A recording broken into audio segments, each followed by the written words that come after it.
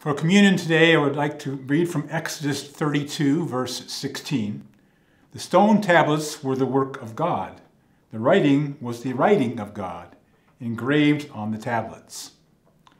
And this verse is the first occurrence in the Bible of the word writing, and it refers to the writing of God, not of people. All scripture is divinely inspired, of course, but the Ten Commandments were divinely inscribed. This testimony of their unique importance is a sobering condemnation for all who ignore them or distort their meaning. But there is another writing of God, this one recorded in 2 Corinthians 3 3. You know that you are a letter from Christ, the result of our ministry, written not with ink, but with the Spirit of the living God, not on tablets of stone, but on tablets of human hearts. Is no longer an external standard, divinely engraved in stone by the finger of God, but an internal conviction inscribed in our hearts by the Spirit of God. Hebrews 10:16 states, "This is the covenant I will make with them after that time," says the Lord. "I will put my laws in their hearts and write them on their minds."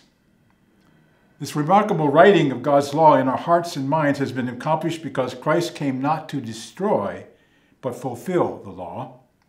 And has redeemed us from the curse of the law, being made a curse for us. Now, with the law written in our hearts, we become letters of God, known and read by all people. And it's vital that the reading that the writing read true and clear through our lives.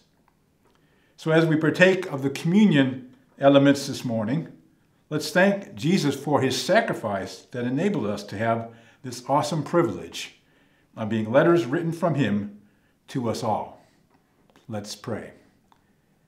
Heavenly Father, we thank you for the fact that you have written in our hearts, in our minds, that which is important to you and which makes for our lives to be the best they possibly can be.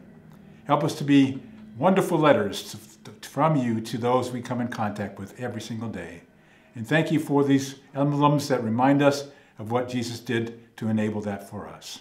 We praise you and thank you for your presence in us now. In Jesus' name we pray. Amen.